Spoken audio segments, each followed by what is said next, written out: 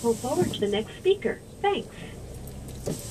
Hey, what's going on YouTube? It's Asian Phenom back with another super exclusive review.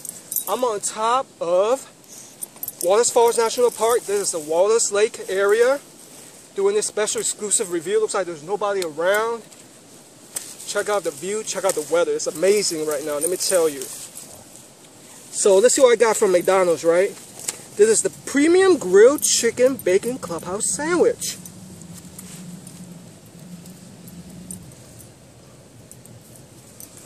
The price is $4.99, so let's check out the container. Let's check out what this burger is all about. Looks like a container exactly the same as the bacon clubhouse burger, which I reviewed a couple weeks ago, and that was very good. It got a 90%. There you have it.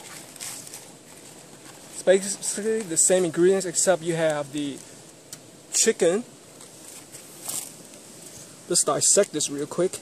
Got a thick cut applewood smoked bacon, caramelized onion on the bottom, Big Mac sauce on the bottom and top.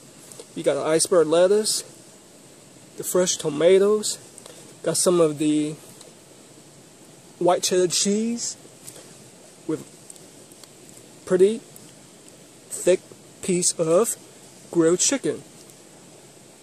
All wrapped up in an artisan bun. Let's give it a try, shall we?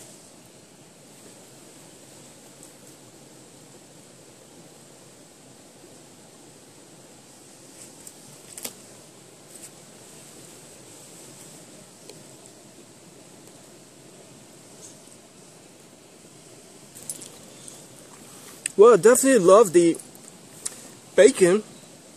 is crispy and it's very tasty. It's got the applewood smoked special flavor, which definitely adds kick to the sandwich.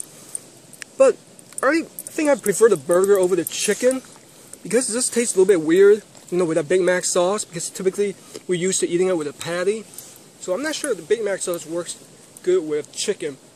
I'm thinking of more like maybe some barbecue sauce or maybe even some mustard will make it tastier.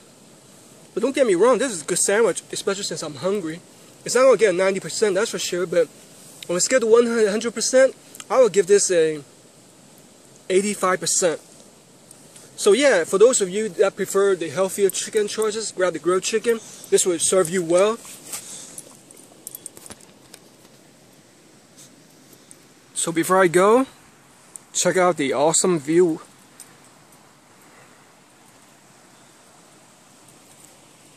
Until next time, peace.